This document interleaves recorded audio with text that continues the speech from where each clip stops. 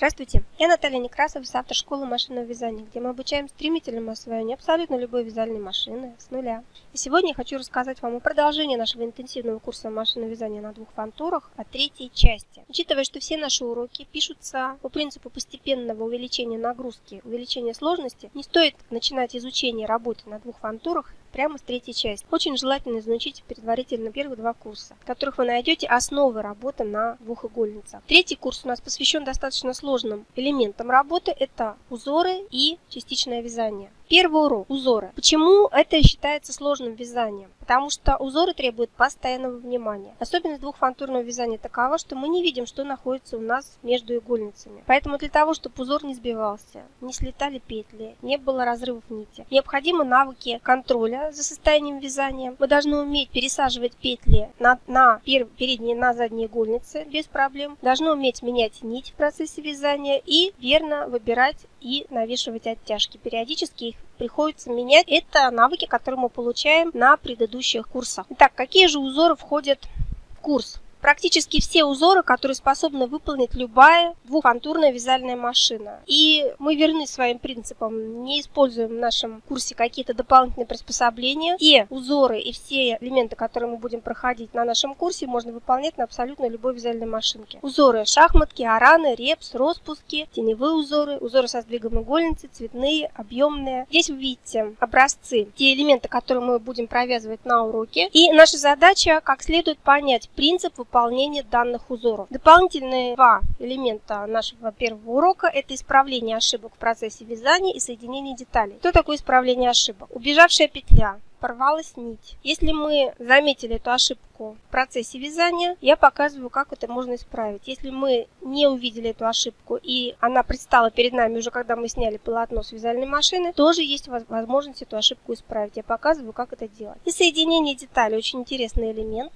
Обратите внимание, соединение долевого и поперечного вязания без шва. На однофантурной машине мы так выпол... Э, такое соединение выполняем, когда начинаем вязание полотна от краевого петельного столбика предыдущей детали. Таким образом мы не получаем шва. В двухфантурном варианте такое тоже возможно, причем а, самое интересное, то эта деталь будет выглядеть абсолютно одинаково и с одной и с другой стороны. Второй урок посвящен у нас частичному вязанию. Что такое частичное вязание? Это клинья, выточки, закругление полочек, а также другая интересная отделка отделка наших изделий, который только может прийти в голову творческой натуре. Тоже входит в урок провязывание горловины без отрыва нити, частичное вязание выточек расклешения на полотнах со сдвигом игольницы, частичное вязание на полном ластике и цветное частичное вязание. Обычно частичное вязание очень активно используется на однофантурном полотне.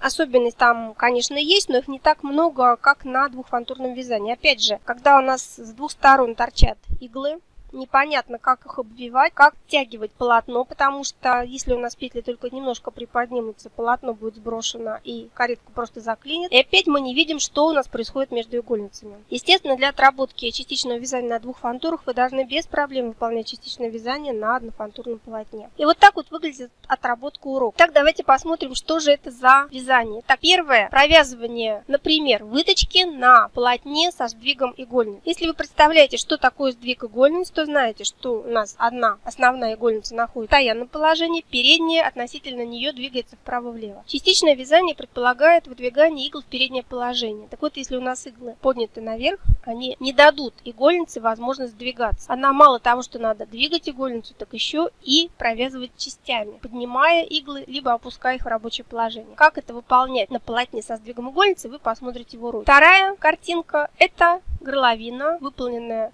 V-образном варианте без единого отрыва нити. То есть мы вяжем полотно общее, далее мы переходим на одну часть горловины, переходим на вторую часть горловины, у нас остаются открытые петли и идет одновременная обработка полотна. Такая обработка очень интересна на деле, где не предполагается планки, резинки и прочие какие-то отделы. То есть мы можем оформить очень тонко, нежно, аккуратно, не утяжеляя наше изделие. Внизу слева в цветном варианте можно использовать и как цветную отделку, и либо как элемент закругления полочки. Например, вы вяжете кофты и не хотите, чтобы у вас кофта имела прямой вид чтобы полочка была четко параллельно полу. Мы хотим закруглить полочку. Как это выполняется на двухфантурном вязании, вы увидите на примере вот такой детали. Ну и Внизу справа вы видите полосатую деталь голубую. Это практически готовое расширение, например, юбки. То есть таким образом мы можем с вами вывязывать клинья любой ширины, любой фактуры. Юбка, шапка, та же выточка на полотне без двига игольниц вам будет доступна после того, как вы провяжете подобную деталь. Третий урок у нас посвящен отработке очень интересного узора шахматка 3D и соединение этого узора в изделие. То есть в данном случае нам очень важна не только сама отработка узора, но и как с этим узором поступать дальше. Мы же не имеем целью не узоры отработать, а изделие получать. Так вот,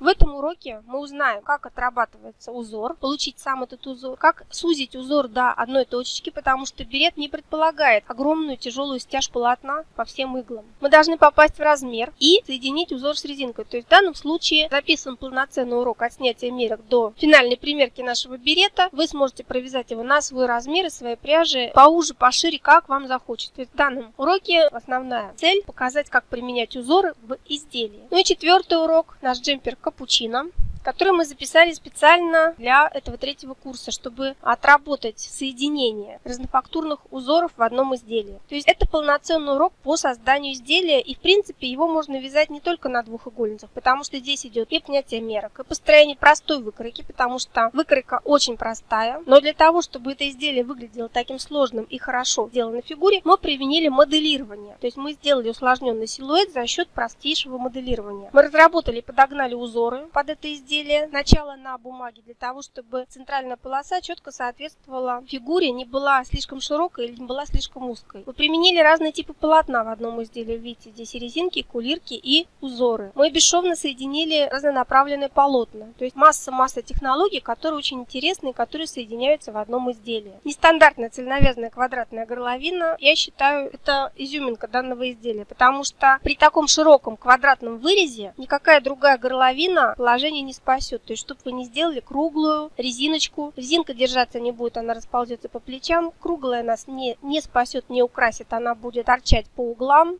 В данном случае изобретена новая техника выполнения горловин цельновязанная, то есть эта горловина не имеет швов, она связана целиком, у нее внутри швов нет. И нет ни одного закругления, затрудняющего расчеты вязания. То есть опять же, все очень-очень просто. Как и любое наше изделие, данное изделие выглядит гораздо сложнее, чем строится и провязывается и собирается. Ну и еще, еще интересно, но тем, что полностью построено на контрасте цветов и фактур. Еще раз, здесь применяется и кулирка, и резинка, и узоры. Напоминаю вам, что что наш третий курс двухфантурного вязания рассчитан на начинающих пользователей двухфантурного вязания. То есть вы должны иметь хотя бы минимальные навыки работы на вашей двухфантурной машинке. Всю информацию о полном курсе вязания на двух фантурах вы можете увидеть по ссылке под этим видео. Форма оплаты на сайте. Пожалуйста, все вопросы пишите нам на почту постбавязальня.ру. Если вам нравятся наши проекты, нажмите «Нравится» на этом видео. Поделитесь с друзьями через кнопки соцсетей.